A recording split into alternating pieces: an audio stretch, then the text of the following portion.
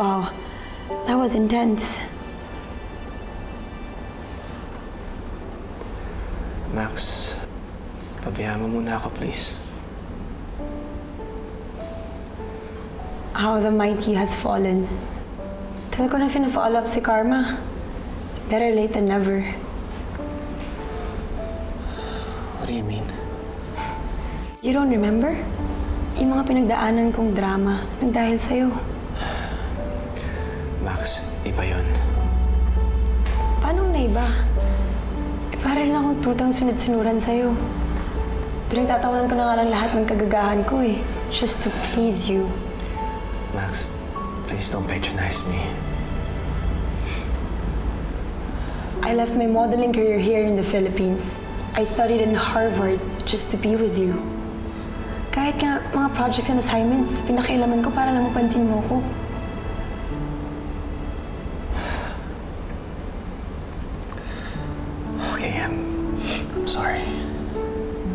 Siguro, hindi ko talaga napansin. Alam ko, your heart was set on hope. I don't blame you. At hindi mo rin kailangan sisihin si Hope.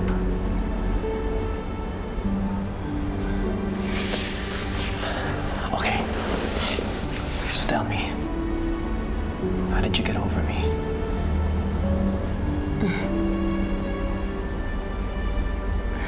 Halika. Let's drown our misery in alcohol.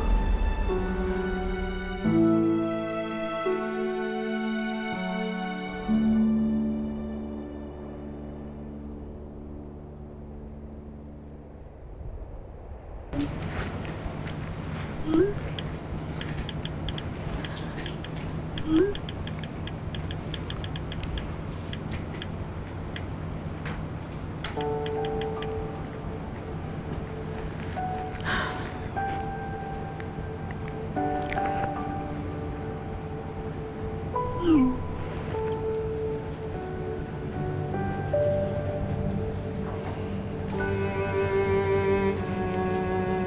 Good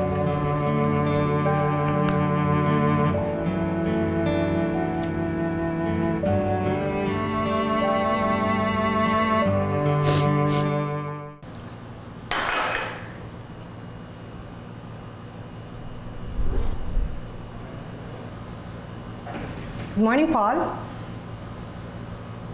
Anong ginagawa mo? Maganda ba talaga ang morning? Parang hindi ko na alam ah. Paul, are you okay? Smell of alcohol. Lasing ka ba? Under the circumstances, I'm okay, ate. Uh, ate, gusto mo, inom tayo. Kasi si Max, sinukuha na ako eh. So, malamang, malamang tulog pa yun. Tara ate, pag-usapan natin. Pag-usapan natin yung pinakasikat na chocolate cafe dito sa Pilipinas sa sa buong mundo. Sa sa buong Belgium.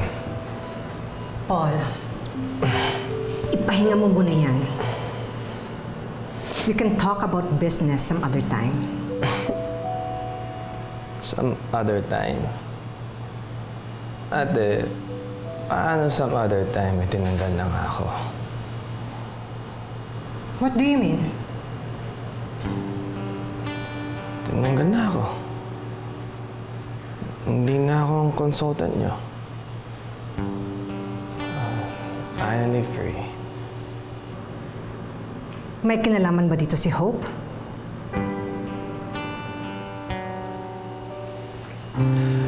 Ayaw niya akong... Ayaw niya akong consultant niyo. Ayaw niya ako maging boyfriend.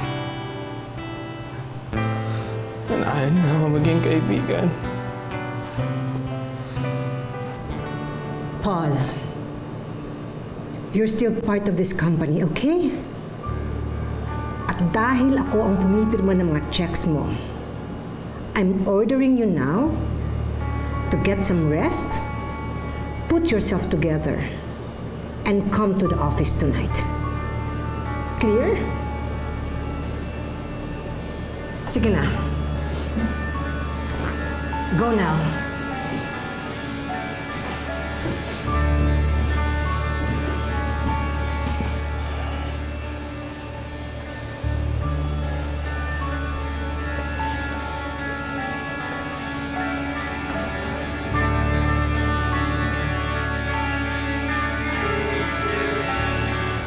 Hope, I want you tonight at the office.